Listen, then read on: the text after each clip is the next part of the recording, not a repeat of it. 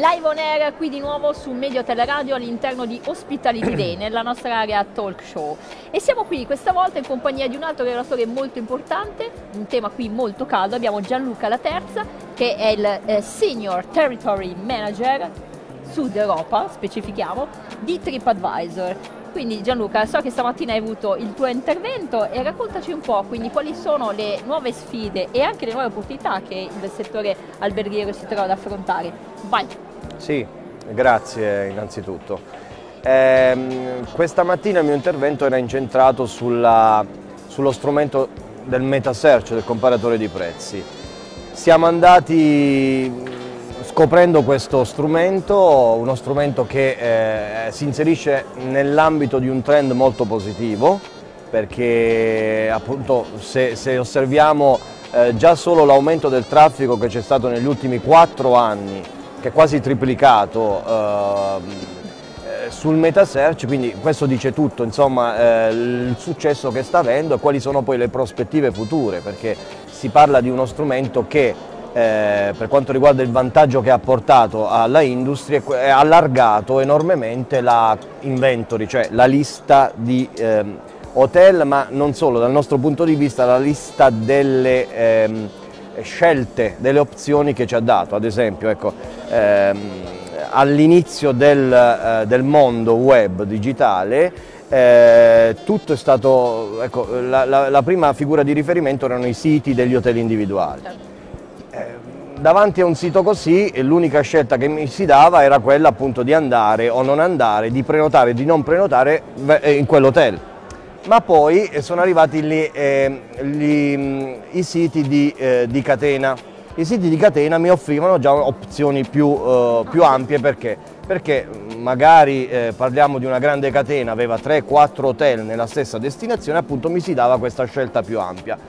Il vantaggio iniziale apportato al sistema da parte del, delle online travel agencies è stato proprio più che quello a cui si fa sempre riferimento il prezzo, è stato proprio questo allargamento eh, in modo consistente della inventory, cioè eh, le OTA hanno dato la possibilità nella stessa destinazione di scegliere fra centinaia di hotel, va bene, tutti gli hotel della destinazione e poi sono arrivate è arrivato il comparatore di prezzi che ha portato all'estremo questo allargamento delle inventory perché nel comparatore di prezzi come TripAdvisor, ma abbiamo altri comparatori e questa mattina li abbiamo confrontati eh, per quanto riguarda le performance, il traffico, i referral eccetera, eh, appunto eh, hanno portato all'estremo questo allargamento dell'inventory nel senso di dare la possibilità a me di scegliere per lo stesso hotel diversi prezzi a seconda del player di riferimento, quindi il prezzo di Booking, il prezzo di Expedia, il prezzo dell'hotel individuale, eccetera. Sì, un po' come si fa anche con, in ambito degli voli aerei, no? Quindi, insomma, Assolutamente, quindi eh, è chiaro che questo dal punto di vista dell'utente eh, significa una ampia possibilità di scelta. Infatti quali sono quindi i benefici eh, per una, una, struttura ricettiva nell'usufruire di queste piattaforme e poi della vostra? Sì, ehm, possiamo parlare eh, di, dei, delle tre ragioni per cui oggi un hotel individuale dovrebbe investire sul metasearch, no? che poi ripetiamo può essere TripAdvisor, può essere Trivago, può essere Google, eccetera. E innanzitutto il traffico sta andando verso quella parte, quindi il traffico ehm, sta andando verso il metasearch e quindi tu che devi fare? Devi seguire gli utenti, devi seguire il comportamento degli utenti. Poi Devi ancora inseguirli proprio, è uno stalker ma, insomma, digitale, diciamo, stalkeraggio sì, digitale. Però insomma eh, eh, questo trend è chiaro, la, la gente va sempre più, eh, ci stiamo muovendo, eh, di questo ne abbiamo parlato molto dettagliatamente questa mattina, ci stiamo muovendo da un tipo di ricerca orizzontale, cioè quella che io andavo a fare quando dovevo scegliere un hotel a Roma ad esempio, certo. andavo su Google, ehm, il search engine di Google e, e digitavo hotel Roma questo è un tipo di ricerca orizzontale e sempre meno la gente usa questo, questo tipo di ricerca. Oggi si sta passando a un tipo di ricerca verticale, cioè specifica su piattaforme specifiche per i viaggi, aggregatori, OTA, meta search soprattutto. E quindi innanzitutto il traffico sta andando lì, ma poi ancora eh, direi un'altra cosa, Il um, comparatore di prezzi rappresenta oggi un rilevante strumento di advertising, di pubblicità, certo. perché la gente vede sul metasearch il mio prezzo, Sei la mia offerta esatto. con il mio brand. Esatto. Anche eh, noi, ecco, il metasearch come lo paghi? Lo paghi a cost per click, cioè ehm, in, in, termini di cost per click, cioè paghi ogni singolo click quando click, la esatto. gente decide di cliccare e andare esatto. oltre nel processo di prenotazione. Ma c'è tutta quella parte che io non pago, che sono le impressioni, cioè quante volte la gente guarda il mio brand associato con la mia offerta. È marketing. Quello è esatto, marketing. Esatto. Eh, basta pensare alla regola che si studia in tutti i testi di marketing, la regola del 7, no? Cioè, almeno sette, sette volte, volte, perché un brand resti impresso nella mente e faccia poi, no, abbia per conseguenze. la relazione Bravo. fondamentalmente. Esatto. E quindi tutta questa parte è un advertising e impression che tu non paghi, gratuita. Certo. Seconda ragione sì, quindi. infatti cioè, qualcuno la vede come un, una non opportunità, invece è un investimento che ti ha voglia il ritorno, no? quindi quanto ti costerebbe essere visibile a così tante, tante persone? Eh, tu sei in grado poi, no? quindi la, ogni tanto anche la mia preoccupazione è quella, se sei in grado da solo, ma ben venga, no? quindi, sì. ma siccome non è proprio così, quindi utilizziamo la tecnologia a favore nostro. Quindi... Assolutamente, soprattutto eh, considerando un hotel individuale che ehm, il cui brand ha bisogno di comparire, certo. di ottenere visibilità, beh, eh, il, il, comparatore di prezzi in MetaSearch rappresenta un, uh, un ottimo strumento.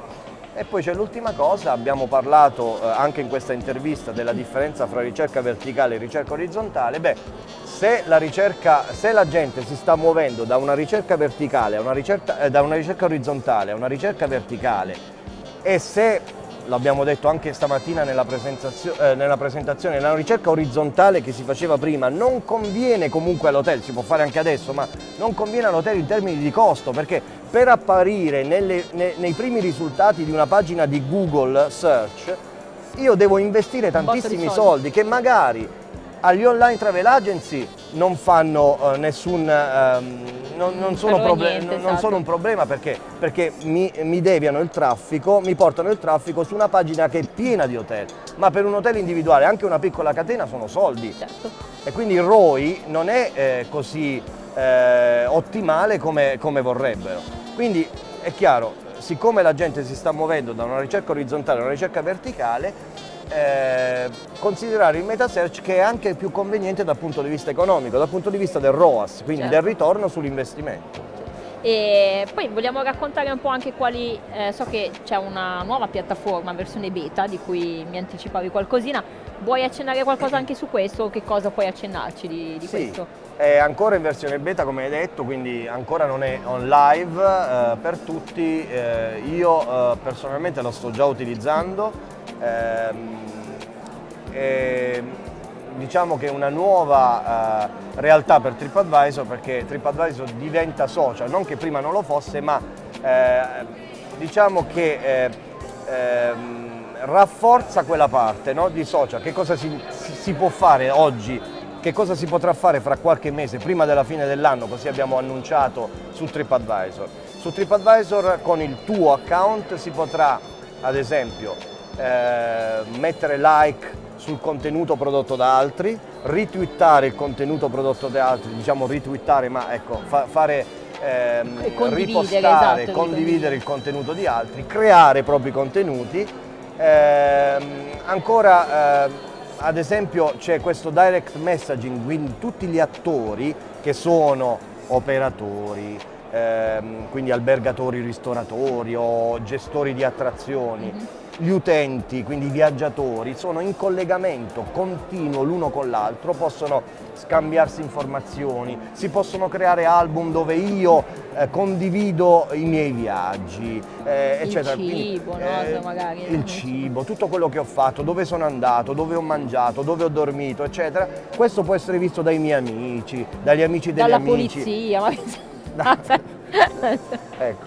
Cioè, non, e... non, non, c'è più scampo, insomma, no, ti fatti nostri tutto è social, da, tutto è social. Eh, noi ci siamo voluti, abbiamo uh, voluto dare un'impronta ancora più social perché? Perché ehm, crediamo nella condivisione. Oggi eh, Iona Berger, c'è un libro molto bello di Iona Berger eh, eh che parla proprio del, della condivisione come una social currency, cioè una moneta, una moneta sociale, cioè qualcosa, la, con la moneta che cosa si fa? Si dà questa moneta per ottenere in cambio qualcosa. Perché parliamo di moneta sociale? Perché io do, condivido un'informazione per avere in cambio qualcosa. Che cosa in questo caso? L'approvazione degli altri. Ecco perché noi condividiamo. Il bisogno di approvazione. Noi condividiamo. Di importanza, bravo, esatto. Noi condividiamo informazioni proprio per questo.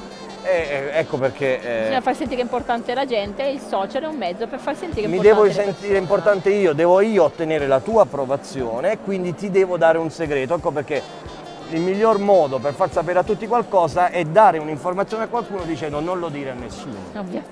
Vabbè, perché in Poi quel caso ti sono sto dando brave in ah, questo. In quel caso ti sto dando una moneta sociale di tanto valore, no? di, di, di, estremo valore. Chi che ha lanciato queste? Le donne all'interno di TripAdvisor? O... Eh, no, bene Gianluca, eh, non so se c'è qualcos'altro che vuoi dare un ultimo messaggio al settore alberghiero. Sì, eh, un'altra cosa che ho sottolineato questa mattina e che eh, eh, dico sempre con piacere è che TripAdvisor non solo ormai è il più grande portale, ma questo eh, l'abbiamo detto sempre, il più grande portale al mondo dei viaggi, ma la cosa più, più, più interessante è che continua a crescere e cresce enormemente.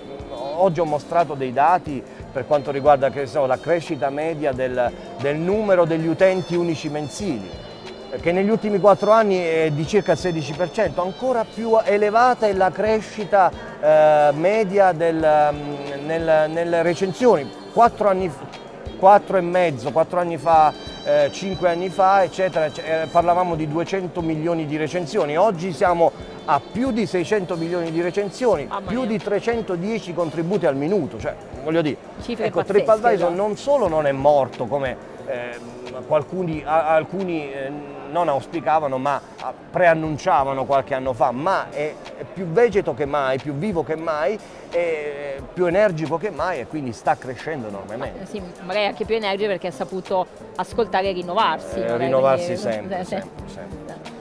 Va bene Gianluca, io ti ringrazio tanto a nome di tutti per eh, il contributo che hai dato anche tu a questa edizione di Hospitality Day e continueremo a seguirti, eh, Sud Europa o meno, insomma, quindi continueremo a eh, rimanere aggiornati e informati per quanto riguarda la piattaforma di TripAdvisor perché ci riguarda tutti, insomma, quindi sia come viaggiatori sia come eh, diciamo utenti, albergatori, ristoratori. Grazie ancora grazie, Giancarlo, grazie è stato un piacere e diciamo intanto stay on air. stay on it.